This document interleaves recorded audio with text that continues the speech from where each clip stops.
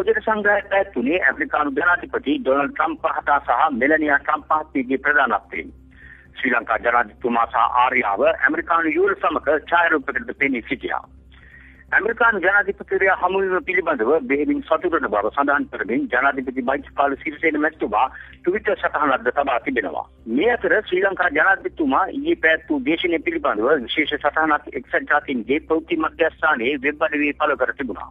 එහි මූලික අවධානය යොමු කොට තිබුණේ බලයට පත්වන්නන්ගේ බලලෝභය සහ ප්‍රජාතන්ත්‍රවාදී ආයතන ශක්තිමත් කොට ආරක්ෂක කිරීම සඳහා රාජ්‍ය නායකයන් ඉටුකළ යුතු කාර්යභාරය ගැන ජනාධිපතිතුමා තම දේශනය තුළ කළ ප්‍රකාශය පිළිබඳවයි. ජනාධිපති මෛත්‍රීපාල සිරිසේන මැතිතුමා ඉදිරියේදී රාජතාන්ත්‍රික හමුවීම් කීපයකට එක්වීමට නියමිතයි.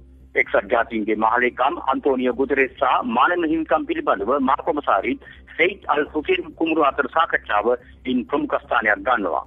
නිව්යෝක් නුවර සිට වාර්තා කළ මා ජාතික රූපවාහිනියේ ෂර්ලි අනිල් ද සිල්වා